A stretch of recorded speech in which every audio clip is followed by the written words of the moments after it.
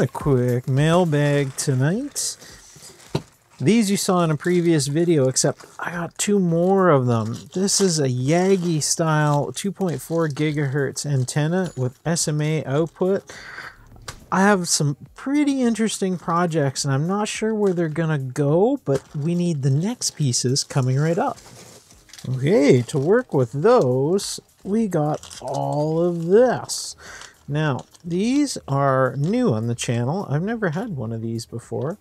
This is the Wemos D1 Mini Pro, an ESP8266 microcontroller, but it has a unique advantage on the board here, we have an IP, an IPEX style antenna connection, as well as an onboard ceramic style uh, 2.4 gigahertz antenna.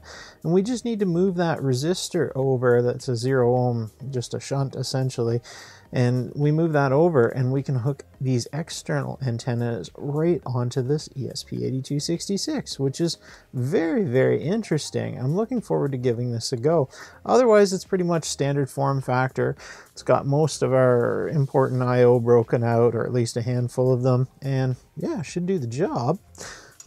As well in the package, got a bunch more of them. Got, you know me, always order to excess. There's four of them, just in case I do anything foolish.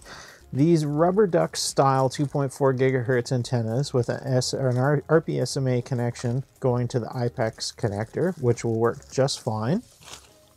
These are the same, except just a little bit longer of a rubber duck antenna, just a standard dipole. And then this, which is a PCB style. Uh, I've never tried one of these before. I have no idea what the gains on these are. If you know, throw a comment down below. I'd love to hear from you. But just hooks onto the same IPEX connection.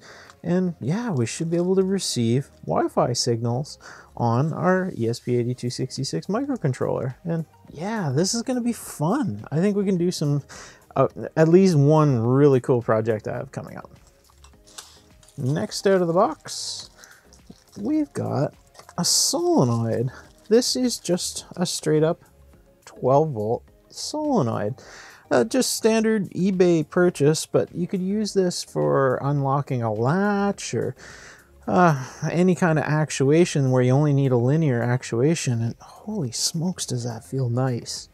Wow, that is really, really smooth really low resistance to that. So I can't remember what the amperage rating on this coil is. We'll just do a quick test at some point and see what it draws. It, it, all solenoids draw a fair bit. That's a big coil of wire. It, it is what it is. But if you just need to momentarily just pop to release something, here we go. Nice and small, easy to mount. Yeah, should do the trick. Lots of throw too. Very cool. Next up, some USB connections. These are just USB breakouts. Got a whole package of them. They're just uh, a USB kind of daughter board, USB 2.0, just on a PCB. And we can just break out USB and hook into our microcontroller circuits or whatever. Or back probe, you could just hook up a couple of these and just use it as a probe point and hook your logic analyzer on, or whatever kind of project you got on the go. Should be neat. Next up, some precision screwdrivers. Now, I kind of think this was a mistake. These are the same ones that I had in a previous mailbag, except all these were kind of on like a uh, in a leather pouch and they were all kind of suspended and easy to index. These are just loose in a bag. I'm not sure how good that's going to be. We'll give it a go. The aluminum screwdriver itself yeah, it feels nice. Yeah, I like the size of it. So if nothing else, we can use those in our little like on the go bag or whatever to have random uh, bits like the most more uncommon stuff like tiny Torx like this and whatnot. I think there's Pentalobes and all kinds of stuff in there. We'll give it a go. This one's a little bit bigger. This one I think will get its own review.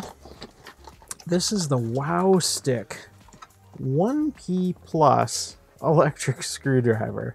Now, I don't have a lot of faith in how this is going to work out, but this is a small precision uh, battery driven screwdriver, and we're going to give it a go. Yeah, yeah, we'll do its own review, but it comes with little, what looks like a degausser, I guess. And yeah, we'll look into it, future video. One last thing kind of a random thing. Never ordered one of these. This is a magnetic uh, visualizer, magnetic film. So if we take a magnet and put it nearby, we can visualize the magnetic field from that. That's really neat. If I hold, this is just a little rare earth magnet. And if I hold that there, sure enough, you can see the magnetic field. Very neat.